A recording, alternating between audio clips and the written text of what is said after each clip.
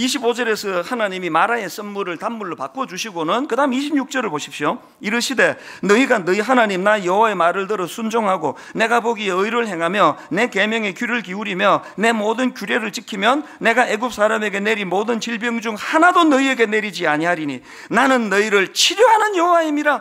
내가 퍼뜩 든 생각이 지금 방금 그 썸물을 단물로 바꿔가지고 갈증을 느끼는 그들에게 물을 주셨는데 그러면 나는 너희들의 목마름을 해가라는 생수 같은 하나님이 이래야 되는 거 아닙니까? 근데 치료하는 하나님이라는 거예요. 병 고쳐주신 거 아닌데. 여러분, 나는 너희를 치료하는 여호와라는 이 말씀은요, 광야 생활 내내를 관통하는 핵심 포인트예요. 나는 너희를 치료하는 여호와임이라.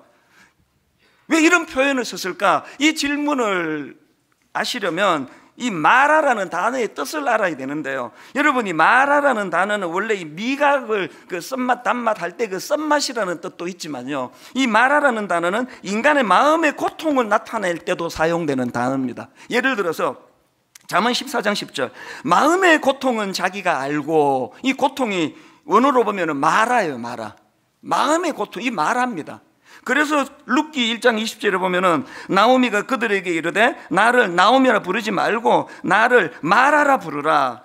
이 마라. 이 나옴, 나오미라 부르지 말고 나를 마라라 부르라. 이 인간의 마음의 고통을 이렇게 표현한 거 아닙니까?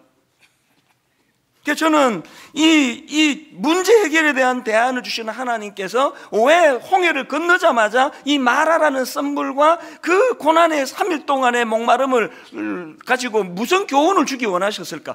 제가 막 눈물이 나는 깨달음 하나 얻었는데요. 하나님이 주시고 싶은 메시지는 이거예요. 저 썬물, 갈증을 느끼는 사람에게 한 모금도 쓰이지 않는 쓰레기통에 내던져야 되는 하수개들이 부어야 될 썬물.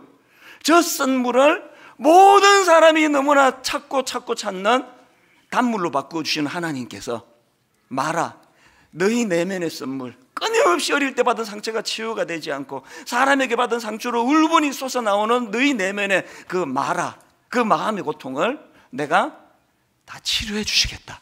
나는 너희의 치료하는 하나님이다.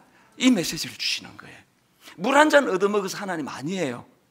그 물 한 잔을 가지고 찰나에 해가를 주시는 분이 하나님이 아니시고 우리 내면의 선물 치료해 주시는 하나님이에요. 여러분 내면에 너무 억울하고 어릴 때부터 받은 상처가 치유가 안 되고 가장 가까운 부모님에게 받은 상처가 여전히 아픔으로 남아 있는 우리 이 썸물이 올라온 우리 내면을 주님께서는 치료해 주시는 나는 너희의 치료의 하나님이라고 이 하나님을 경험하는 믿음의 성도님들 되시기를 바랍니다.